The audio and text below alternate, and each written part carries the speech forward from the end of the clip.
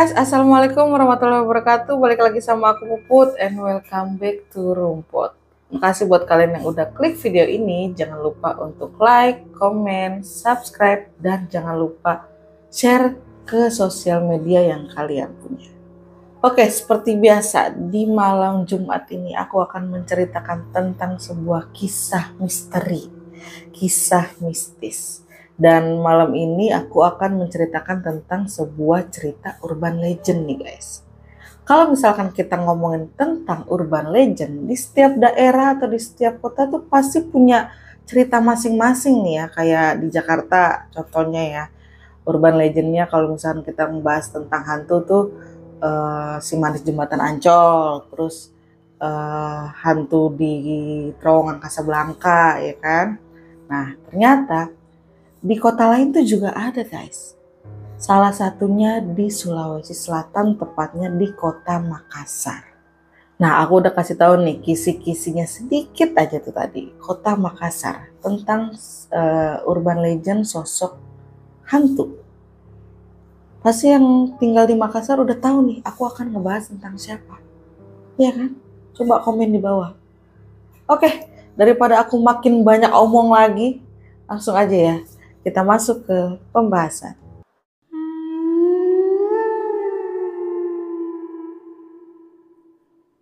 Sumiati. Kalau kita dengar-dengar kata Sumiati, pasti nggak ada arti apa-apa ya buat kita nih uh, yang tinggal di Jakarta gitu kan. Tapi beda nih guys, kalau misalkan bagi masyarakat yang ada di kota Makassar. Nah, ternyata nama tersebut ini sering banget dikaitkan dengan sesosok hantu yang sangat menakutkan nih guys.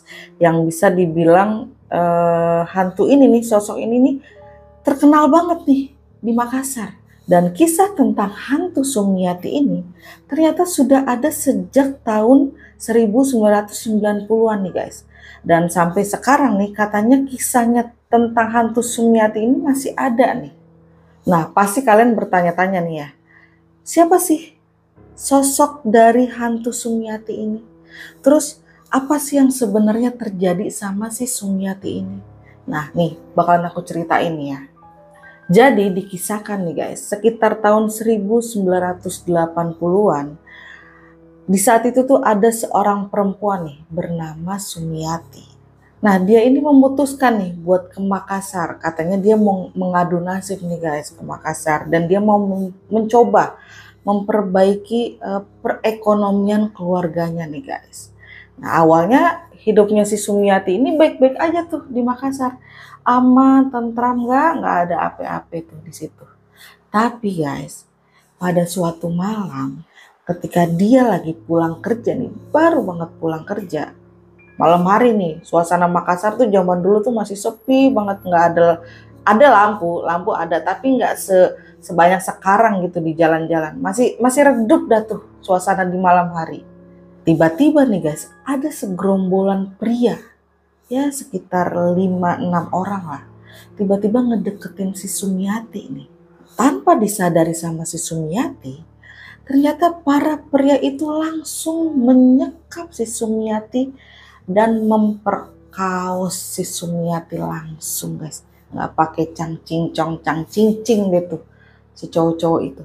Dan malam itu mahkotanya si Sumiati direnggut secara paksa, secara bergantian oleh para pemuda-pemuda itu guys.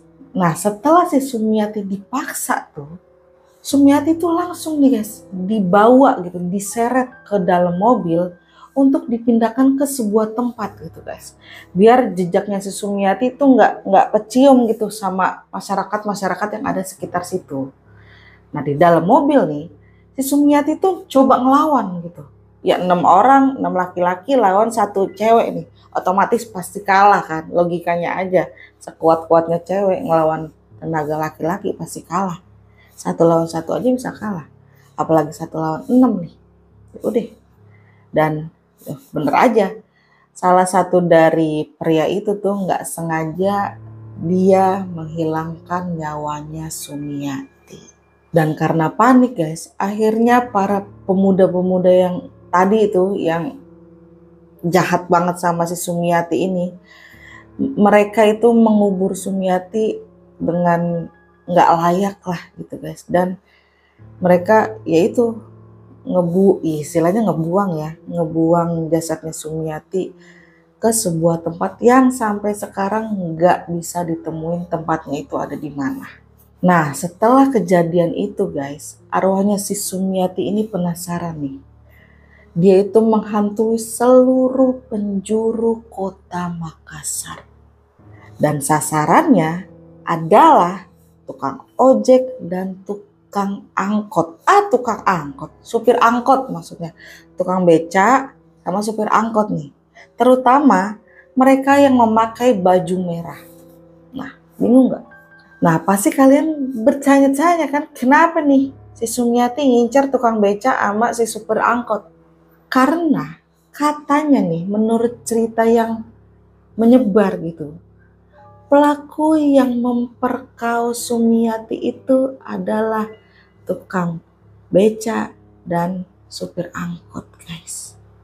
Dan salah satu dari pelaku adalah memakai baju berwarna merah. Nah itu kenapa si Sumiati ngincarnya si tukang tukang bacek tuh tukang beca sama supir angkot terutama pakai baju merah yaitu karena pelakunya mereka nah si Sumiati ini sendiri sering banget nih diceritakan berwujud seperti hantu wanita pada umumnya guys ya penampakannya ya kira-kira mirip Miske lah atau Misundel lah kayak gitu ya.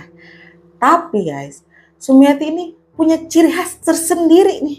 Dia punya ciri khas nggak mau disamain sama Miske sama Misundel. Mau tahu gak cirinya apa? Jadi ciri khas dari hantu Sumiati ini adalah dia ini bisa berganti-ganti pakaian, berganti-ganti warna baju. Hmm. Sesuai dengan moodnya si Sumiati. Nah, bingung kan? Hantu bisa berganti-ganti pakaian. Gue rasa di sana ada desainer gitu kali ya. Hmm. Nah, jadi nih guys, katanya nih menurut cerita nih ya, dia ini punya dua baju nih. Yang satu warna putih, yang satu warna merah. Hmm. Bingung kan? Kapan nih dia pakai baju putih, kapan nih dia pakai baju merah nih.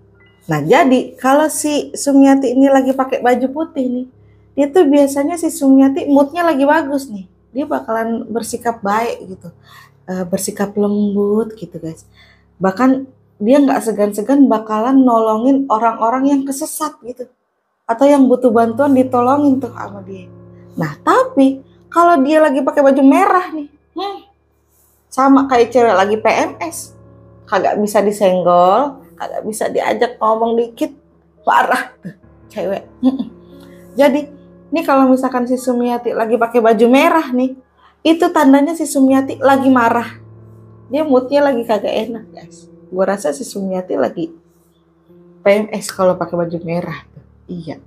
Tuh lagi pakai baju merah di PMS tuh nggak segan-segan tuh kalau lagi pakai baju merah dia apa dia nyari korban guys. Nah kalau ada seseorang yang ketemu Sumiati lagi pakai baju merah nih itu bisa dibilang orang itu bakalan sial guys. Bakalan entah kecelakaan entah sakit atau yang lebih parahnya dia bakal meninggal dunia nah selain itu nih guys ada lagi nih kisahnya tentang si hantu Sumiati jadi katanya hantu Sumiati ini berasal dari sebuah tempat yang bernama Karaenta atau Karaenta.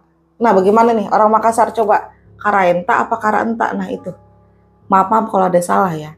Nah jadi aku bahas sedikit tentang wilayah Karaenta ya. Jadi Karaenta itu merupakan kawasan hutan yang ada di Kecamatan Cenrana di Kabupaten Maros, Sulawesi Selatan. Nah, Karanta ini adalah sebuah kawasan hutan yang dilindungi karena tempat ini eh, banyak berdiamnya berbagai macam spesies flora dan fauna, guys. Dan juga banyak eh, keanekaragaman hayati yang biasanya digunakan untuk pelatihan ilmiah. Nah, selain itu, tempat ini juga dijadikan sebagai tempat untuk mempertahankan uh, cadangan air di bawah tanah, guys. Munculnya hantu Sumiati berawal dari seorang siswi nih, guys, yang tiba-tiba dia itu kerasukan makhluk halus. Kemudian siswi ini nunjuk nih sebuah tempat.